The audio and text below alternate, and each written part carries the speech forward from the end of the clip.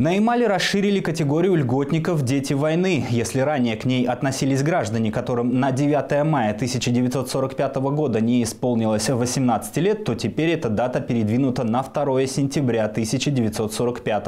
На Ямале новшество затронет 48 человек, которым по состоянию на 2 сентября 1945 года не исполнилось 18 лет и которые проработали в округе не менее 15 календарных лет, для инвалидов не менее 10 лет. По Муравленко количество льготников этой категории не увеличится увеличится. На сегодняшний день в городе проживает 109 детей войны. С 1 января им положено пожизненное ежемесячное содержание в 1125 рублей, а также материальная помощь ко Дню Победы.